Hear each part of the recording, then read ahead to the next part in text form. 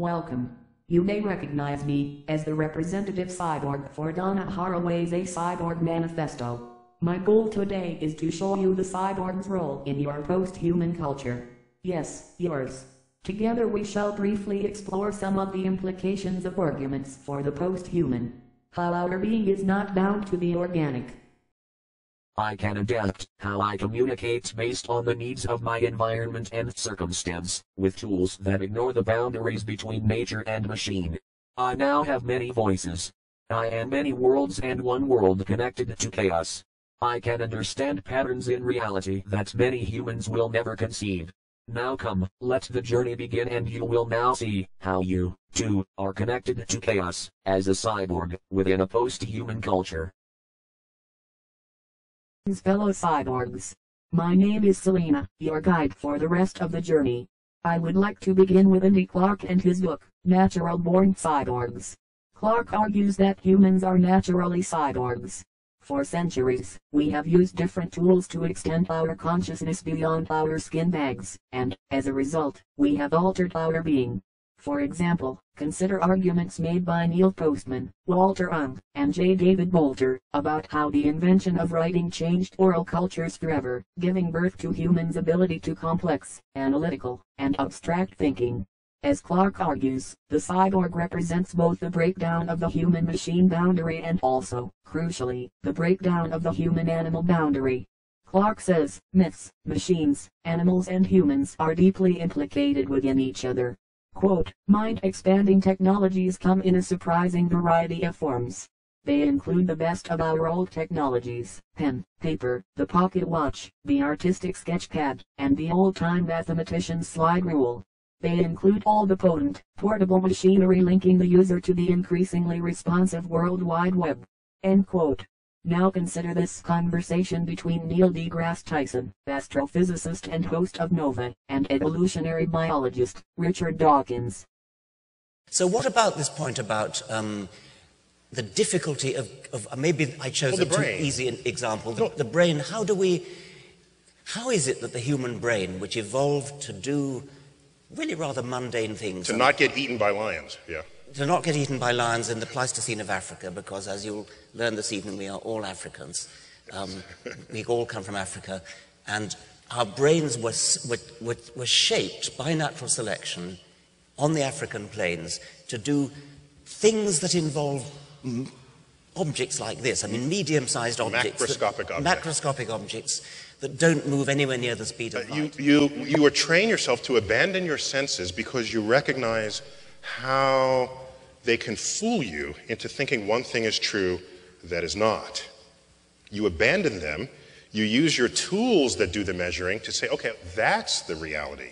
Then you make a mathematical model of that that you can manipulate logically, because math is all about the logical extension of one point to another, and then you can make new discoveries about the world that, frankly, you'll just have to get used to.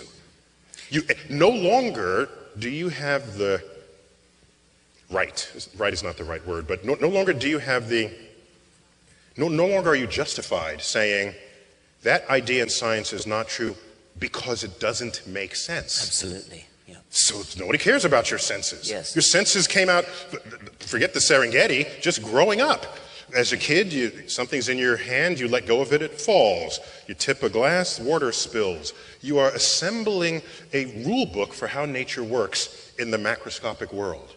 The microscope takes you smaller than that, the telescope takes you bigger, and other laws of physics manifest themselves in those regimes that you have no life experience reckoning. It is our uniqueness, as natural born cyborgs that allows us to extend our consciousness, essence, and our senses with tools.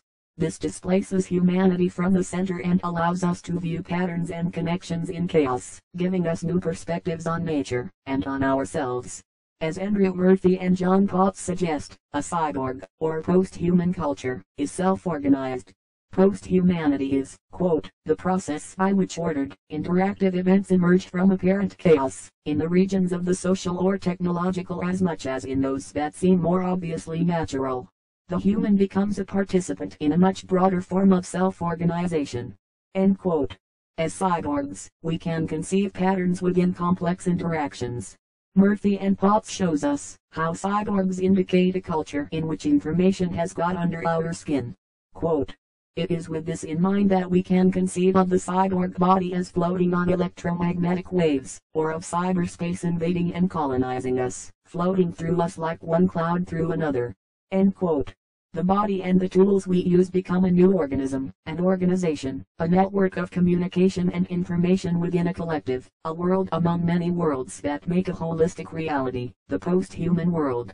Does this mean that being post-human allows us to upload our consciousness to a machine? No. Consider this interview with N. Katherine Hayles. In your book, How We Became Post-Human, one of the central concerns seems to be that humanity is, is moving towards or hurtling down the wrong path, a path that takes us away from the physical, and that humanity is moving towards uh, what I characterize as this sort of cybernetic evolutionary malaise um, is that a fair characterization, would you say? And do you still feel that same way? Well, I wouldn't say that it's humanity that's hurtling down this path. I'd say it's a few uh, people who envision the future of humanity as post biological. But it so happens these are very influential players.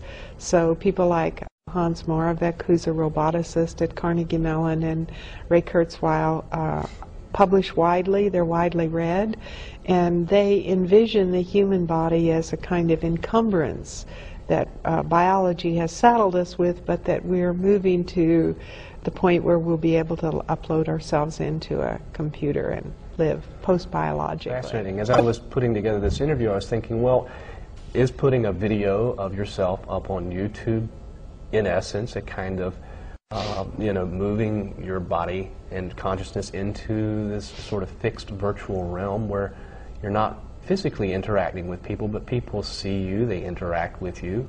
Uh, what are your thoughts on that?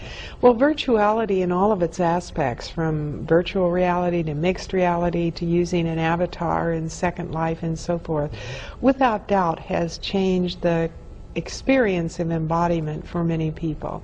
And I think many folks experience a real uh, feeling of identification with their avatars.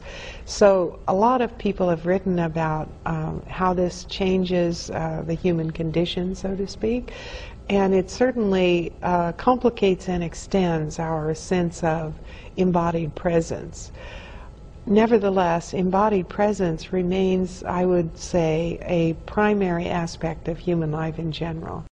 Perhaps, now, you can see how we are all natural born cyborgs. But it is only now that we are becoming post-human. As our techniques for gaining new perspectives and expanding our presence continue, we will eventually understand more about the collective chaos of reality. Even today, with the rise of augmented reality, and people like the colorblind artist Neil Harbisson, a cyborg who uses technology to see colors through music, we are more post-human than before. Thank you.